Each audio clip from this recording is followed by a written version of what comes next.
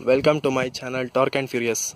Today I'm going to explain you people about the new thing that has been added to the KTM family. The, take it as RC390, 2007 RC390 family. Yeah, the ride by wire throttle. I'm going to explain how it works and why it is not needed in the RC390 variant. So, let me explain what is the ride by wire throttle.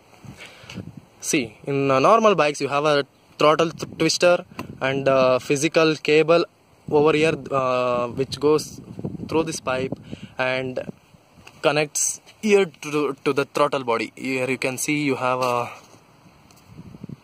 Let me focus this air intake pipe and uh, there you can uh, know the chassis is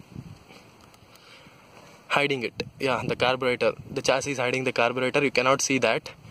And uh, that is the main mechanism of the throttle body uh, or, that is the throttle uh, system which we get in our normal bikes. But the new rc390 2017 model has got a wireless or a cable which the cable is not present at all. It has a circuit inside this console it regulates let me focus it. It regulates how much the throttle you are twisting and how much the throttle body should be opened inside the carburetor. And what amount of air and fuel should be injected into the combustion chamber.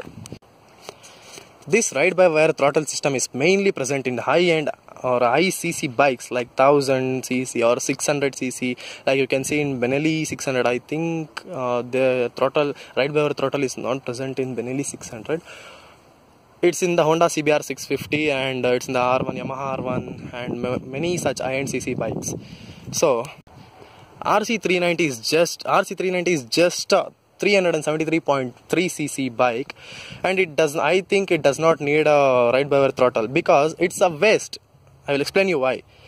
What happen what uh, this throttle body uh, i mean ride by wire throttle is completely waste without a tcs tcs is nothing but traction control system.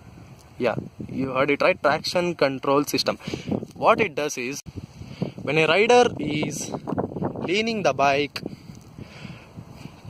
in a corner like he is cornering when you are addicted to cornering you are leaning your bike uh, up to the when it's like your knee should touch the ground. If you lean that much then the tcs will be very useful. That is not present in the rc390 or any of the ktm like i don't know whether it is present in the rc8r or rc8 i don't know uh, properly.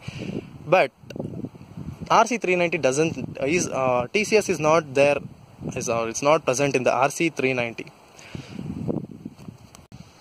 what TCS does is when you're leaning in such your uh, such a point like it's your leaning angle is very intense very high and your uh, wheel may lose the traction even if it is the front wheel or the rear wheel. If it loses its traction what tcs traction control system is traction means it's nothing but the point like uh, contact between the wheel and the road if the traction is lost the tcs will regulate the ride by wire throttle system to maximize or like uh, increase or decrease the throttle to get its get the bike's control back. So when tcs is not present in rc390 or whichever ktm model like rc200 then why you need a ride by wire throttle? Yeah that's a waste so I think I have explained you about the ride by wire throttle and this is my friend Pramod's bike. Uh, yeah, he has maintained it very well. The engine is still crispy and nice. Uh,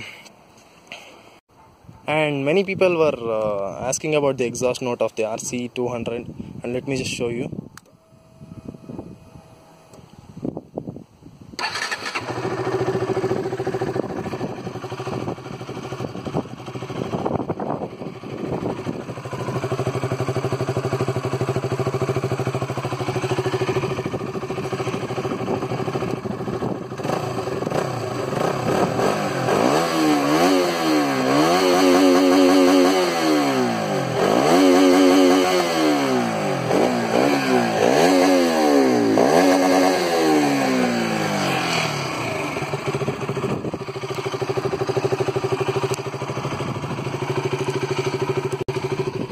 You can see how good and mesmerizing this sound is unlike the duke.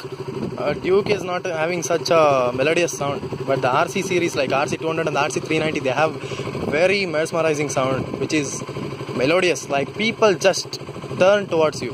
When you are ripping the throttle in the cities the people just turn turn towards you to look with uh,